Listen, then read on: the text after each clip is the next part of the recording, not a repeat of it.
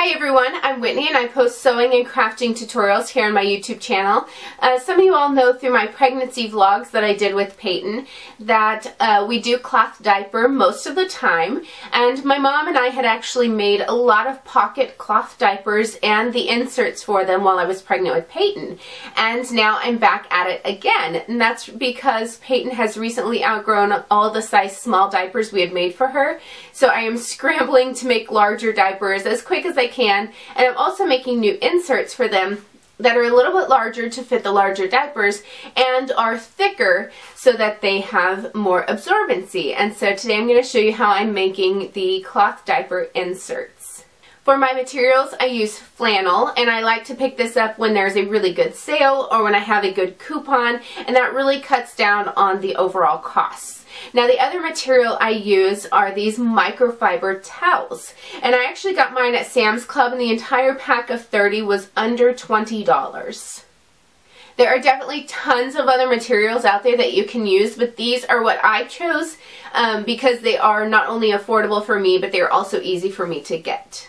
The towels say they are 16 by 16 inches, but they are not actually that size.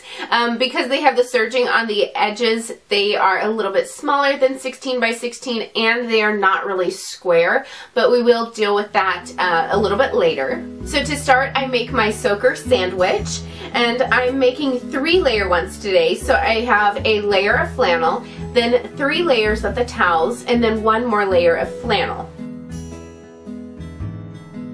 Make sure they are stacked as straight as you can get them and pen through the layers in several places. Then head to your sewing machine and sew straight lines through all the layers. Take your time and try to keep from getting any wrinkles as you go. My lines are about two to two and a half inches apart.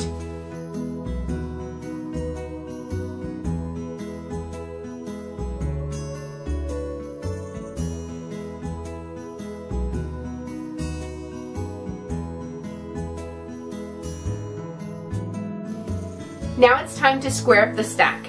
Using my rotary cutter and a sharp blade, I trim off the edges, making sure I'm cutting all the serged edges off the towels.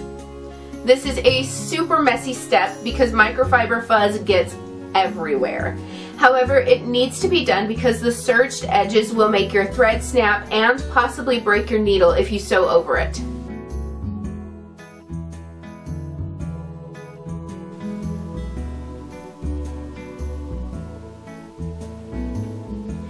How it looks once it's squared up. Now measure to see what size piece you're left with. Mine is about 13 by 14 inches. I know based on the size of my diapers, I need the soakers to be about 4 inches wide. So I cut it into three pieces measuring just over 4 inches wide by 14 inches long. Once I serge the edges, the soakers will be right at 4 inches wide. The last step is to finish off the edges. I'm finishing mine using a serger, but you can finish them with a zigzag stitch if you don't have a serger. I will link to a tutorial showing how to do that. Since my serger only has one needle instead of two, I also sew a straight stitch just inside the serging line with my regular sewing machine to ensure these last a really long time. If your serging or zigzagging isn't perfect, it's not a big deal. Just make sure to straight stitch a time or two past any areas that aren't perfect so that they hold up over all the washing and washing that these will go through. The important thing really is that the soakers are absorbent, not that they look fabulous. So there you have it. That is how I make my diaper soakers for Peyton. And it really depends on the time of day as to if I use one soaker or two because I've um, kind of paid attention enough to know when she will need the extra absorbency or when she uh, won't be peeing quite as much. So you kind of just have to pay attention to your child and figure out what will work best for you.